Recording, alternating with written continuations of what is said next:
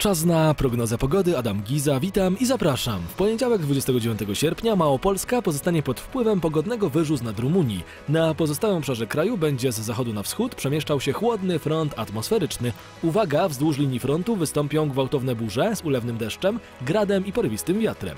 Z frontem zacznie oddziaływać odległy wyż z rejonu Zatoki Biskajskiej. Województwa wschodnie pozostaną wolno ustępującej, upalnej i parnej masie powietrza zwrotnikowego. Poza tym zacznie napływać chłodniejsze polarne powietrze.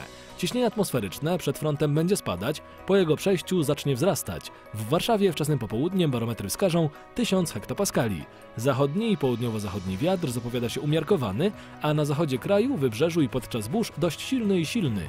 Biometr wszędzie niekorzystny. Teraz to wszystko, do usłyszenia.